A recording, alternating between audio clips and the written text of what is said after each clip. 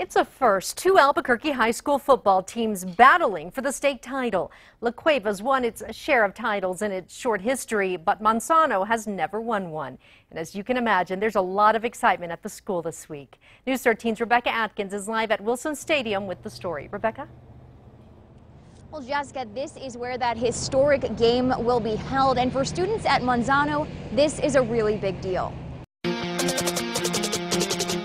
Duked it out before this season. The La Cueva Bears and the Manzano Monarchs are district rivals.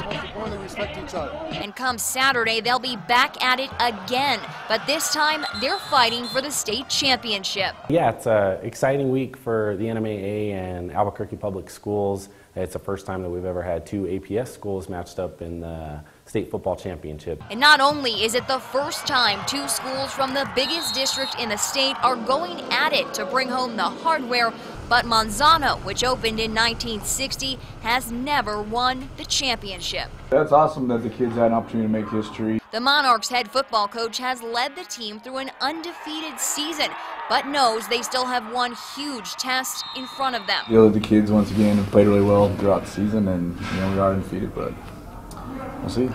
La Cueva has won the title all four times they've played in the state final.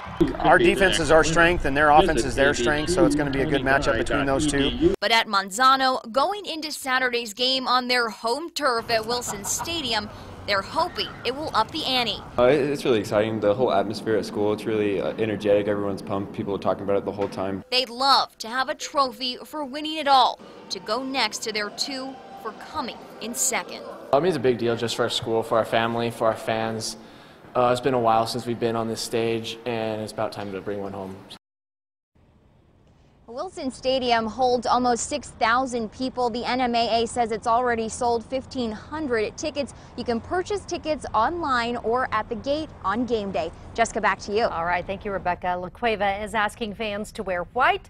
Of course, Manzano wants everyone in purple. The game is at 1 on Saturday.